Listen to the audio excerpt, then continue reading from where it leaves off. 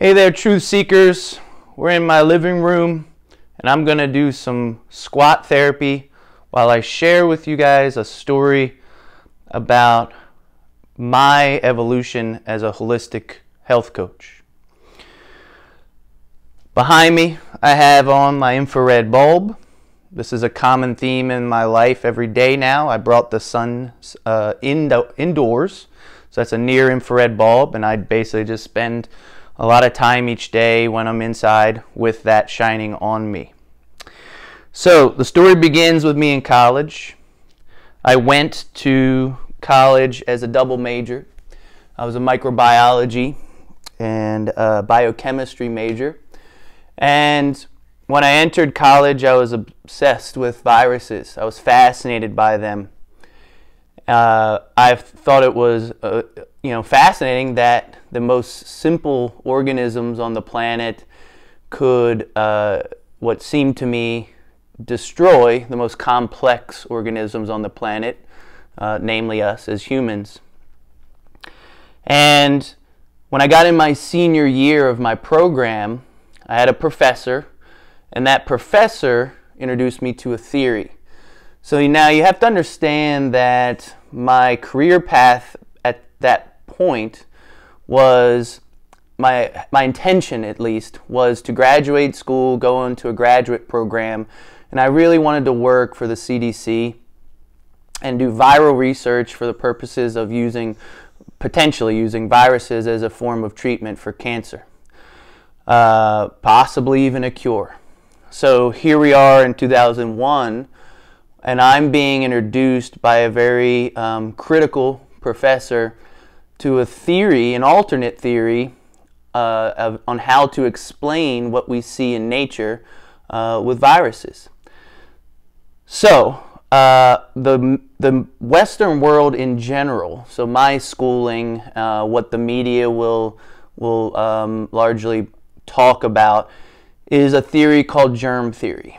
And germ theory essentially says that there's these viruses in, in the environment and that they are the enemy and that we have to eradicate them if we wish to protect ourselves. And, and so germ theory is essentially, and I'm, I'm simplifying here, but germ theory is essentially saying that uh, as long as we can keep the viruses outside of our body, then uh, they won't harm us. Right? So that means as a as a as a human population and as a civilized culture, if the if germ theory is the only theory to operate by, then we take a very defensive position against viruses, and so we create all sorts of behaviors and products and technology that will separate us from the virus. Uh, and this is also true for um, bacteria and fungi as well. All right, so germ theory says, you know, stay away from these guys. They're dangerous do everything you can to um, eradicate the world of them and protect yourself from them. Now, uh, germ theory was popularized by a man named Louis Pasteur. He was a French uh, scientist in the late 1800s. And at the same exact time, a different French scientist named Antoine Béchamp was popularizing an alternative theory, right? And let's recall that theories are simply uh, explanations for observations in nature or in a laboratory setting. And so Louis Pasteur lived at the same time as Antoine Béchamp, and they were at odds with each other trying to explain what these things called viruses do in people and other uh, organisms. So Antoine Béchamp's theory, which is now uh, you know called terrain theory, basically states that we recognize that viruses are real and that they're in the environment, but that the symptoms that we call illness related to viruses are a result of the virus's interaction with the terrain, uh, and the terrain is essentially um, the word they're using to describe the environment of both the human body internally and the environment externally. And so what terrain theory says is okay, those things outside of your body, they're not the enemy, but rather they're here to inform our genetics of the environment in which we live. Um, no matter whether uh, someone is, is supporting um, germ theory or terrain theory, uh, what is almost universally agreed is that viruses are not alive and that they are essentially operating like um, uh, a syringe to inject uh, uh DNA changes to the host DNA. And so terrain theory makes the argument that instead of the viruses being the enemy, what we as hosts of these viruses need to do is focus on the health of our terrain and the terrain in which we live. It is argued that viruses are essentially a software upgrade to our DNA, informing the organism, humans in this case, of, uh, of changes in their environment. And if we use the analogy of the software upgrade to that of technology, we all are at this point in history familiar with how when uh, companies update their technology and, and create um, fixes for bugs, for example, that sometimes those upgrades have deleterious effects, that sometimes the upgrade doesn't work quite the way they planned.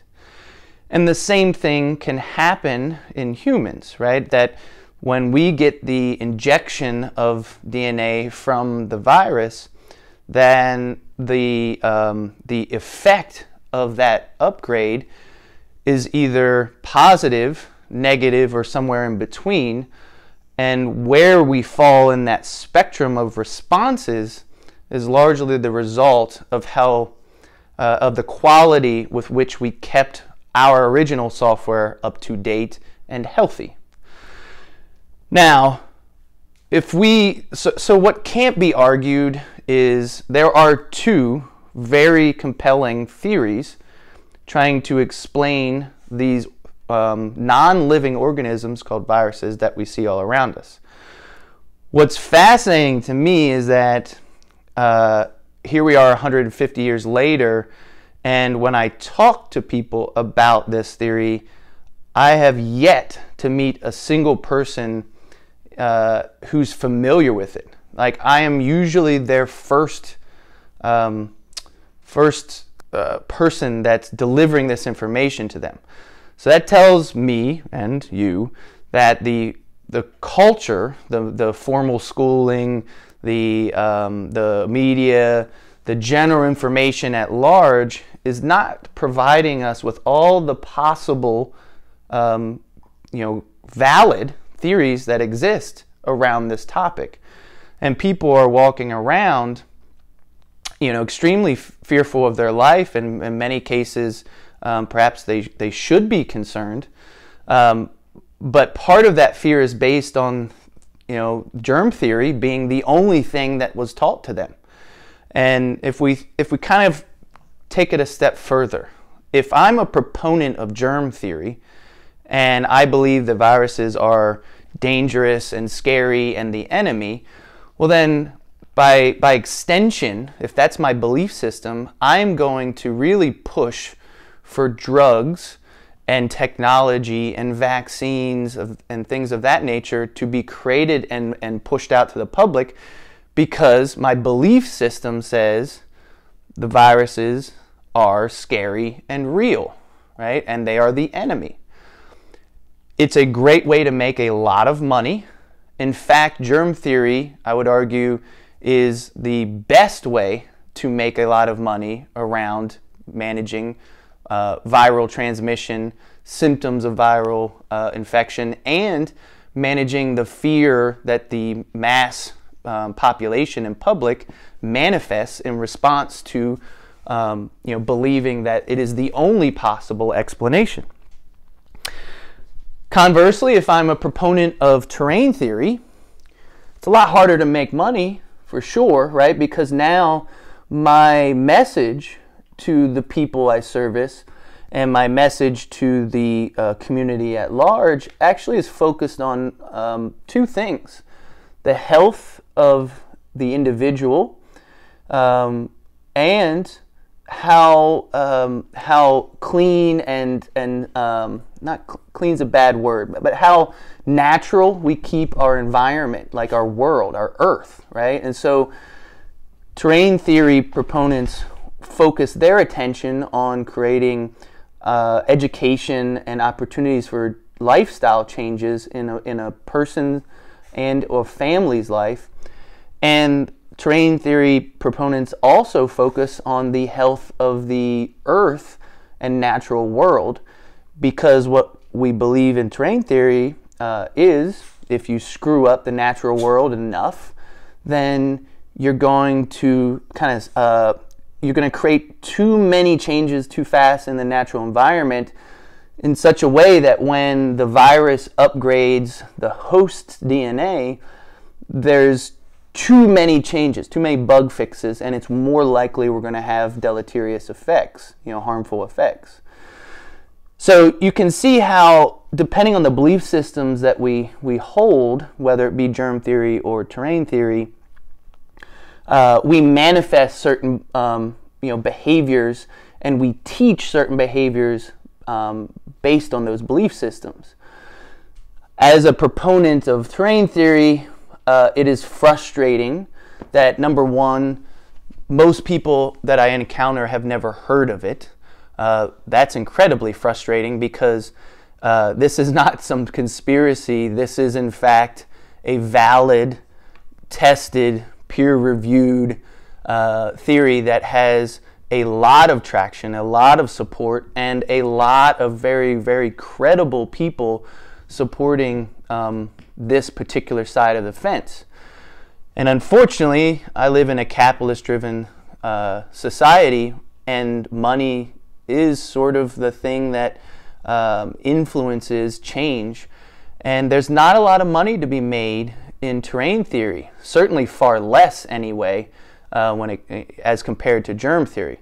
Um, the money to be made in terrain theory is largely around the topic of health and wellness which um, you know would bring with it uh, you know other concerns as well with ethics, depending on how the professional handles this information. But um, it's it's important to me that I get this out, you know, and that you know maybe more people who have never heard of this theory start looking into this information and considering that oh wow like I didn't know that there were other theories out there that were just as valid as this thing I hear constantly in the media.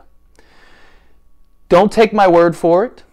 Go ahead and do some research on your own. Uh, two of my favorite resources, both uh, are MDs, so medical doctors, both are published doctors, and both are authors with um, books as well as great video content on topics uh, related to this and other things that are sort of um, uh, health and wellness related. One, uh, one person is Dr. Zach Bush, MD, and another doctor is Dr. Thomas, uh, Thomas Cowan, all right, Dr. Thomas Cowan and Dr. Zach Bush. So please, if this information is new to you and you've never heard of terrain theory, and even this very basic, simplified introduction video is something um, that piques your interest, please go, go look into this stuff further. I ran a workshop last night on immune resilience where myself, a medical doctor, and a nutritionist got together and sort of promoted uh, our, our, um, our opinion and our, our beliefs around how to create optimal immune health. And everyone who attended that workshop, which was both in person and virtual, had never heard of terrain theory. So I couldn't not make this video. All right, as a professional, very ethical one, uh, it's really important that I that I at least feel like I did my part to make people aware that there's this whole other awesome extremely valid, well supported theory out there that you most likely, unfortunately, haven't even heard of.